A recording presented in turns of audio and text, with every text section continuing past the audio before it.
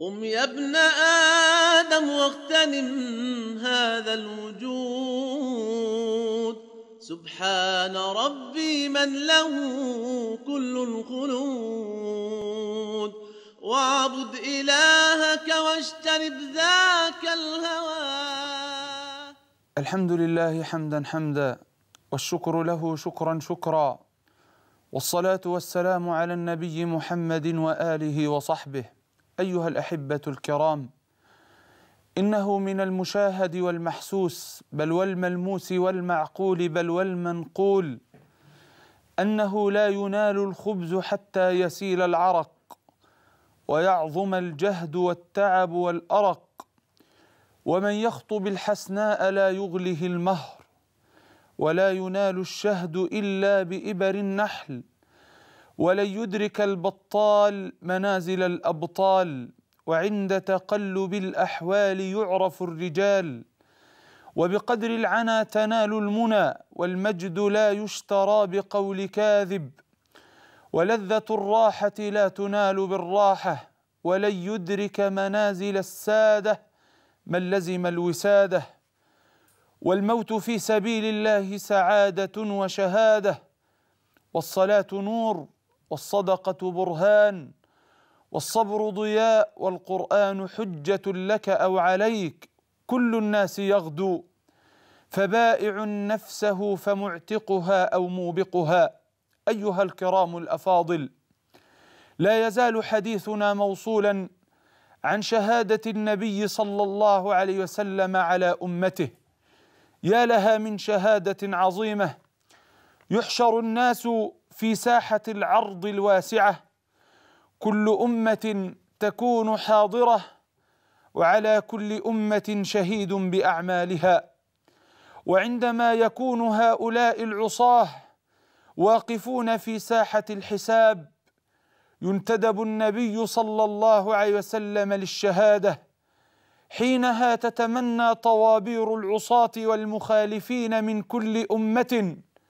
يتمنى المرابون يتمنى الديوثون يتمنى الظالمون والمتكبرون يتمنى القائمون على إشاعة الفواحش بين الناس يتمنى النمامون والمغتابون يتمنى المتهاونون في إقامة الصلاة وفي إيتاء الزكاة يتمنى المتهاونون في صيام رمضان يتمنى المتهاونون في آداء ما أوجبه الله عليهم من الطاعات. يتمنى هؤلاء جميعا أن تبتلعهم الأرض وأن ينهال عليهم التراب. حتى تسوى بهم الأرض يود الذين كفروا وعصوا الرسول لو تسوى بهم الأرض بل يتمنون أن يكونوا ترابا لا قيمة لهم تطاهم الأقدام كما كانوا هم يطؤون رقاب خلق الله على الأرض ويلقون أوامر الله بالمخالفة يتمنون كل ذلك ولا يقفون ذلك الموقف المهين أمام النبي صلى الله عليه وسلم وجئنا بك على هؤلاء شهيدا. يومئذ يود الذين كفروا وعصوا الرسول لو تسوى بهم الأرض ولا يكتمون الله حديثا. يقول النبي صلى الله عليه وسلم وهو العالم بكلام ربه يقول ليذادن أقوام عن حوضي يوم القيامة أي ليردن أقوام عن حوضي يوم القيامة. فأقول يا ربي أمتي أمتي صلى الله عليه وسلم فيقال لي إنك لا تدري ما احدثوا بعدك. فاتقوا الله عباد الله وتذكروا شهادة نبيكم صلى الله عليه وسلم وتذكروا قول الله تعالى وكذلك جعلناكم أمة وسطا لتكونوا شهداء على الناس ويكون الرسول عليكم شهيدا. ويكون الرسول عليكم شهيدا. أنتم يا أمة محمد جعلكم الله عز وجل أمة وسطا عدولا لتكونوا شهداء على الناس. وليكون الرسول صلى الله عليه وسلم عليكم شهيدا. وقد قال الله تعالى ويوم نبعث في كل أمة شهيدا على عليهم من أنفسهم وجئنا بك شهيدا على هؤلاء. فهل بعد هذه الشهادة بعد شهادة الله سبحانه وتعالى على خلقه وبعد شهادة النبي صلى الله عليه وسلم على الأمم وعلى أمته وبعد شهادة الأنبياء على أممهم هل بعد هذا يستطيع امرئ أن يغرق في المعاصي. يستطيع امرئ أن ينسى ذلك أو أن ننسى واقعنا وما نحن فيه من اللهو والغفلة عن الكتاب والسنة. وفي الحديث الصحيح قال النبي صلى الله عليه وسلم يدعى نوح يوم القيامة. فيقول الله عز وجل له يا نوح هل بلغت قومك فيقول نعم يا رب بلغت وأديت. فيقول الله عز وجل يا قوم نوح هل بلغكم نوح؟ فيقولون لا يا رب ما أتانا من بشير ولا نذير.